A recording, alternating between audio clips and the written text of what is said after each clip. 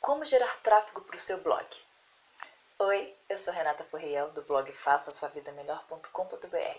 Se você é novo por aqui, eu já te convido a se inscrever nesse canal, ative o sininho para ser notificado e deixe seu like amigo para mim. E no vídeo de hoje eu vou te mostrar três tipos de tráfego, mas logo após a vinheta.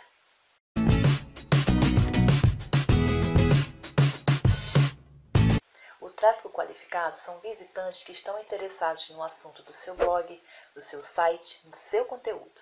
E trazer esses visitantes não é uma tarefa muito fácil. E para quem está começando, existe uma grande dúvida: como eu vou atrair visitantes para o meu blog?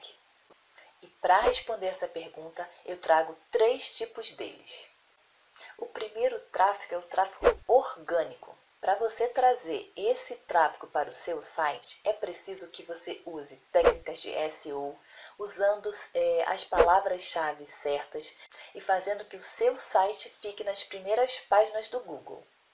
Trazer esse tráfego pode levar um tempinho, mas vai ser muito recompensador, porque esse tráfego é o que converte muito mais.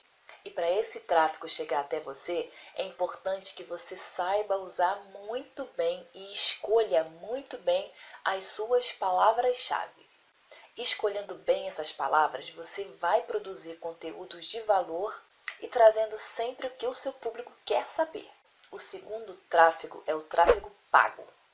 O tráfego pago depende de investimento financeiro. São os famosos anúncios. E para investir nesse tráfego, você precisa analisar bem como aplicar o seu dinheiro e como criar esses anúncios. No treinamento Fórmula Negócio Online, você aprende a criar esses anúncios no Facebook Ads. O Alex Vargas te ensina passo a passo como criar esses anúncios. Eu vou deixar aqui na descrição desse vídeo o link do treinamento para você conhecer. O último tráfego é o tráfego social. Esse tráfego é muito importante para o seu site. Eles vêm através das interações nas redes sociais, nos links que você disponibiliza nas redes sociais, nos, nos vídeos do YouTube. Analise cada rede social e como elas podem te ajudar a crescer o seu negócio. E hoje, além de ter uma conta no Instagram e no Facebook, é muito interessante que você tenha uma conta no Pinterest. O Pinterest é uma fonte inesgotável de tráfego. Aproveite bem todas as redes sociais. Me conte aí, qual desses três tipos de tráfego você traz para o seu negócio online? Deixe aqui nos comentários para mim, usando a hashtag na frente do tráfego que você usa para o seu negócio.